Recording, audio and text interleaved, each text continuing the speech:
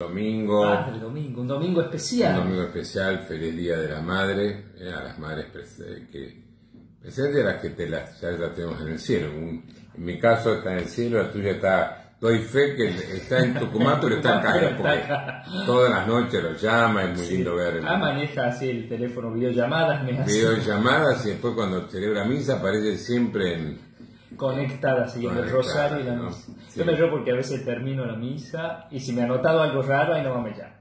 Eh. ¿Estás bien? ¿Qué ah, pasa? Te noto tal cosa. Así, atenta. Debe estar pendiente de cómo está el tamaño del cabello. El cabello, solo ella me corta el cabello, así que... Yo no puedo creer eso. Anoche cuando volvíamos de, repartir la Noche de la Caridad, la Noche Solidaria, este, las viandas que que el sábado mañana en ese voluntariado tan lindo que, se está concretando y cada vez creciendo más de eh, Somos Hermanos, eh, encontré algo que para mí es muy significativo y lo vinculo a mamá, los jazmines. Ah, usted siempre habla de los jazmines. Exacto, porque mamá tenía, solía tener jazmines en su cuarto, al lado de la imagen de la Virgen, en el pesebre. La cuestión de que yo el jazmín lo enseguida, viste que es muy perfume, muy muchísimo, impregna toda la... Y a mí me lo asocio, eh, lo asocio muchísimo con mamá. Y de alguna manera tener siempre jazmín en la capilla, eh, es una manera como de, de, dar gracias a Dios por el regalo grande de la mami, pero también como añorar y pedir que ese perfume no se pierda, sobre todo uno algunas cosas lindas, ¿no?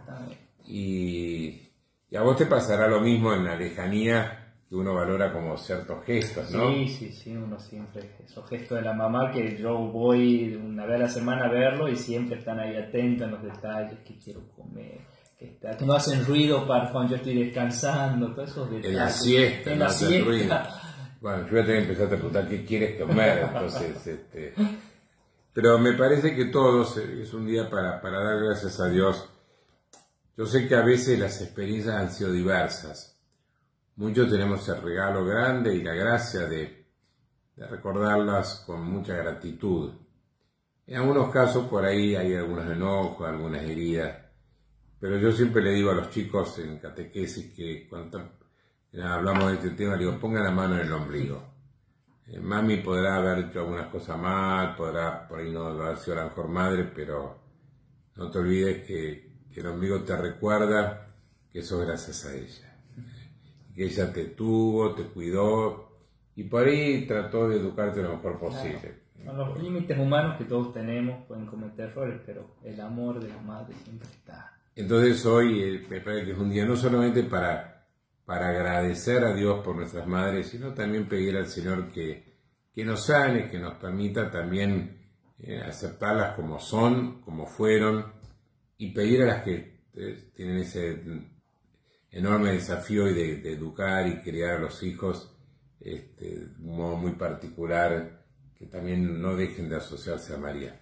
Pero no voy a terminar sin, sin hablar de la mamá. claro que sí, la mamá, pero mira, la mamá, ella misma reconoce que no era muy creyente, había ido tres misas en su vida, tres misas. ¿eh? La de primera comunión, la de la crísima, la confirmación y casamiento.